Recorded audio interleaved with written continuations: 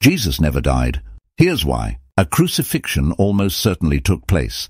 However, some unusual elements to the biblical account raise suspicion. Firstly, they are at best second-hand accounts, as admitted in the Bible. Secondly, Jesus himself cries out in desperation and confusion on the cross. Thirdly, an all-merciful God would not sacrifice one person for the sins of another. In fact, Jesus asks God to protect him from death.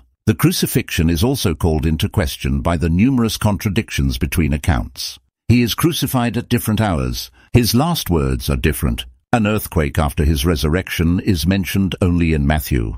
The earliest gospel doesn't contain a post-resurrection appearance, and more and more are added in later gospels. The three earliest gospels say that a man, Simon of Cyrene, is given the cross to carry without mentioning why. It may have been him who was crucified instead, explaining why Jesus never died.